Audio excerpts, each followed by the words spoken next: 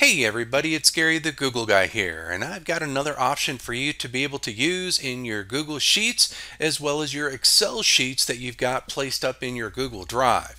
You will have the ability to select multiple tabs at the bottom of your Google Sheets and perform basic actions on those selections. So for example, I am in an Excel format file that I've got stored in my Google Drive, but as I said, also works on your Google formatted files. And at the bottom left of the screen, you'll see that I've got sheet one selected. I can hold my control button down and select another sheet. And when I right click, you'll see it will give me the option with a basic menu to be able to take actions with these multiple selected sheets at once.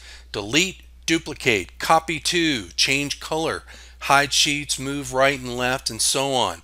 So if I go to change color and I want to change my color to say that blue, you'll see I've now taken that action on the two tabs that I have selected at the bottom. This is great, especially if you need to hide a bunch of your worksheets in the middle of a spreadsheet. That's what I use mine the most for. Well, with that, ladies and gentlemen, until we meet again, another day, another time, another update, or a tip or a trick. This is Gary the Google Guy, signing off.